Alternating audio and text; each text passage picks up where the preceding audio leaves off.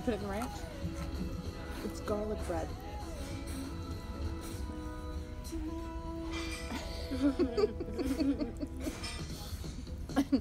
This is gonna be perfect.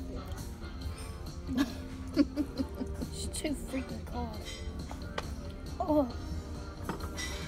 You want them? Here you go. You used to eat them. You know that, right? My the earth changes. You know that? Your earth. No, no, we learned that in school. It's called earth changes. What is that? It's where the earth changes over time. Usually it's called taste buds, but that's fine.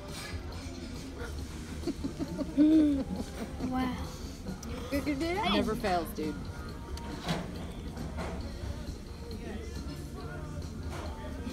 One day I'm gonna catch you doing something dumb. and I'm gonna post it. You ain't gonna realize.